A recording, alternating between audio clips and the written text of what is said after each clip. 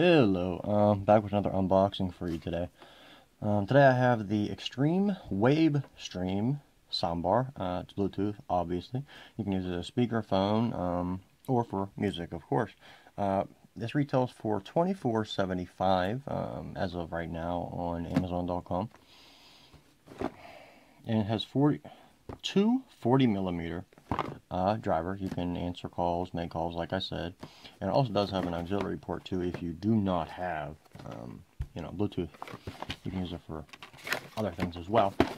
Uh, the back here, of course, you know, let you know what it is. It has a rechargeable uh, Li-ion battery in it. But uh, let's open it up here. It's packaged uh, nicely well. Nicely well? Yeah, nicely. Oh, there's the battery, it looks like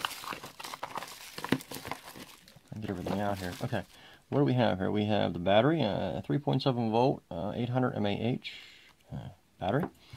We have our auxiliary cable, 3.5 millimeter. We have a micro USB cable.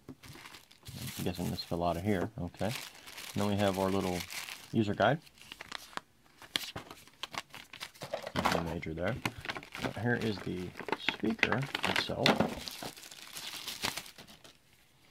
fairly heavy. Uh, it feels very, uh, very nicely made. I like the uh, sort of a rubberized uh, finish on it here. It's a flat matte, I guess you can call it.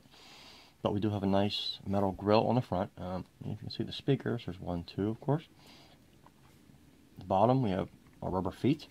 Here is the battery compartment. Slide the battery in there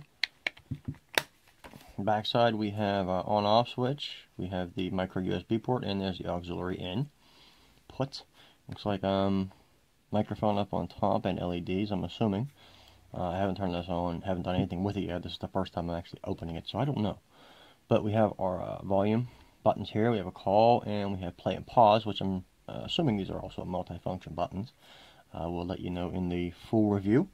But uh, this is the Wavestream Bluetooth speaker. Seems like a, a fairly decent device actually.